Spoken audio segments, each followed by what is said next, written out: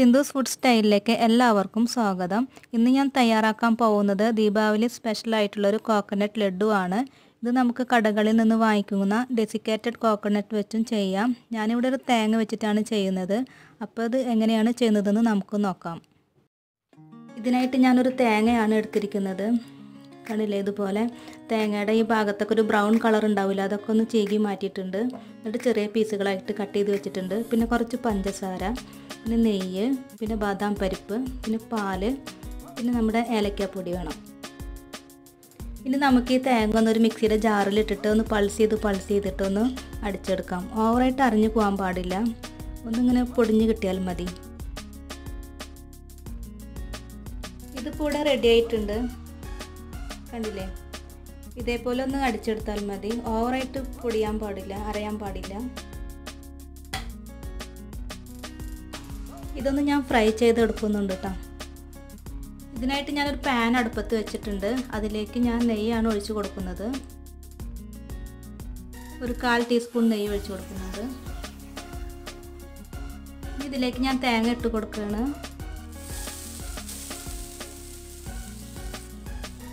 ഞാനിതൊന്ന് ഫ്രൈ ചെയ്ത് കൊടുക്കുന്നുണ്ട്. ഒരുപാട് ഇട്ടിട്ടൊന്ന് ബ്രൗൺ കളർ ആവണ്ട. ജസ്റ്റ് ഒന്ന് അതിലത്തെ വെള്ളം മാത്രം ഒന്ന് പോയി കിട്ടിയാൽ മതി.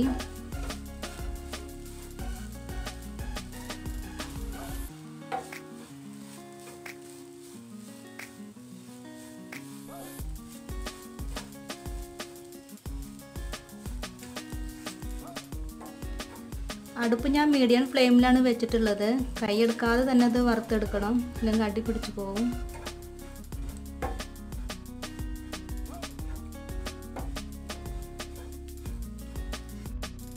ഇപ്പോൾ ഇത് നന്നായി വെള്ളമൊക്കെ വറ്റിയിട്ട് നന്നായി ഡ്രൈ ആയിട്ട് വന്നിട്ടുണ്ട്. ഇതിൽ നിന്ന് ഞാനൊരു മൂന്ന് ടേബിൾ സ്പൂൺ എടുത്ത് മാറ്റുന്നുണ്ട്.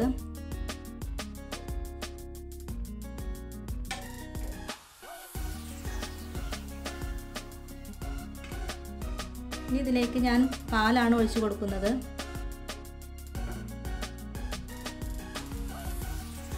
ഞാൻ പാൽ ഒഴിച്ചു കൊടുത്തിട്ടുണ്ട്. ഏകദേശം ഒരു കാൽ കപ്പോളം പാൽ വരും. തിളപ്പിച്ചാറിയ പാലാണ്. ഇനി പാലൊന്ന് ഇതിൽ കിട്ടൊന്ന് വറ്റണം. നമുക്ക് പാലിന്റെ പകരം ഇതില്ലേ നമ്മുടെ മിൽക്ക് മെയ്ഡ് അത് യൂസ് ചെയ്യാം. കൈ എടുക്കാതെ തന്നെ ഒന്ന് ഇളക്കണം കേട്ടോ അല്ലെങ്കിൽ അടി പിടിക്കും.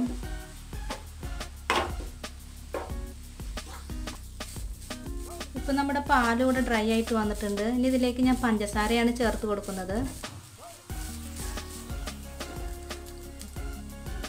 അരക്കപ്പ് പഞ്ചസാരയാണ് ചേർക്കുന്നത്. ഈ പഞ്ചസാര ഇട്ടാൽ പിന്നെ ഒന്ന് മെൽറ്റായിട്ട് വരും കേട്ടോ അതൊന്ന് ഡ്രൈ ആക്കി എടുക്കണം.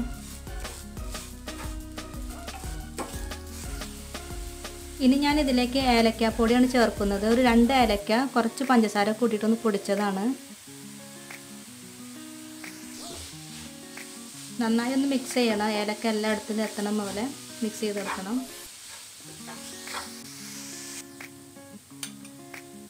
ഇപ്പോൾ നമ്മുടെ തേങ്ങ ഒക്കെ നന്നായി ഡ്രൈ ആയിട്ട് വന്നിട്ടുണ്ട്. പഞ്ചസാര ഒക്കെ നന്നായിട്ട് ഡ്രൈ ആയിട്ടുണ്ട്.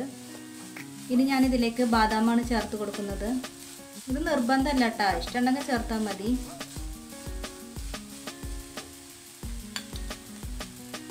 ഒരു ടീസ്പൂൺ ചേർത്ത് കൊടുക്കുന്നുണ്ട്. ഇത് നമ്മൾ കഴിക്കുമ്പോൾ ഇടയ്ക്കൊക്കെ കടിക്കണത് ഒരു ടേസ്റ്റാണ്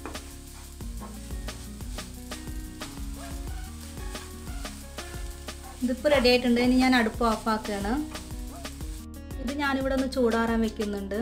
അധികം നന്നായിട്ടൊന്ന് ചൂടാറി പോവണ്ട. ഒരു ഇളം ചൂടാവുമ്പോൾ അത് ചെറിയ ഉരുളകളാക്കിയിട്ട് എടുത്തിട്ടൊന്ന് ഉരുട്ടിയെടുക്കാം. ഇപ്പോൾ ഇത് ഓവറായിട്ടുള്ള ചൂടൊക്കെ ഒന്ന് മാറിയിട്ടുണ്ട്. നമ്മൾ കൈയൊക്കെ വെച്ചാൽ പൊള്ളാത്ത പോലത്തെ ഒരു ഇളം ചൂടിലാണ് ഇപ്പോൾ ഇരിക്കുന്നത് ഇനി ഇത് കുറേശ്ശായിട്ട് എടുത്തിട്ട് നമുക്ക് ചെറിയ ഉരുളകളാക്കിയിട്ട് എടുക്കാം. ഇതുപോലെ കുറച്ചെടുത്തിട്ട് ഒന്നങ്ങ് പ്രസ് ചെയ്തിട്ട് ഇങ്ങനെ ചെറിയ ഉരുളകളാക്കിയിട്ട് ഇങ്ങനെ എടുക്കുക എടുക്കാം. കണ്ടില്ലേ? ഇതേപോലെയാണ് ചെയ്തെടുക്കുക. ഞാൻ ഇനി ബാക്കിയുള്ളതൊക്കെ ഇതേപോലെ ചെയ്തെടുക്കുകയാണ്. ഇപ്പം ഞാൻ ഇതുപോലെ എല്ലാതും ഉരുട്ടിയെടുത്തിട്ടുണ്ട്. ഇനി ഇതിലേക്ക് ഞാൻ നേരത്തെ നമ്മൾ മാറ്റി വെച്ചില്ല തേങ്ങ. അതാണ് ചേർത്ത് കൊടുക്കുന്നത്.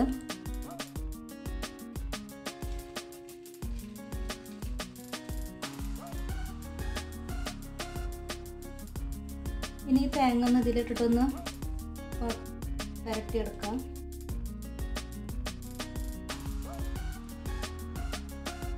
നല്ല അടിപൊളി ടേസ്റ്റാണ് കേട്ടത് കുട്ടികൾക്കൊക്കെ നന്നായി ഇഷ്ടമാവും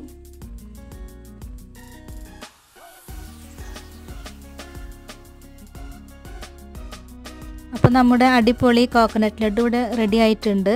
എല്ലാവരും ഇതുപോലെ ഒന്ന് ട്രൈ ചെയ്ത് നോക്കണം. ഇത് എല്ലാവർക്കും ഇഷ്ടമാവും എന്റെ വീഡിയോ ഇഷ്ടമായാൽ വീഡിയോ ലൈക്ക് ചെയ്യുക ഷെയർ ചെയ്യുക കമന്റ് ചെയ്യുക സബ്സ്ക്രൈബ് ചെയ്യാതെ കാണുന്നവരാണെങ്കിൽ പ്ലീസ് ഒന്ന് സബ്സ്ക്രൈബ് ചെയ്യുക. താങ്ക്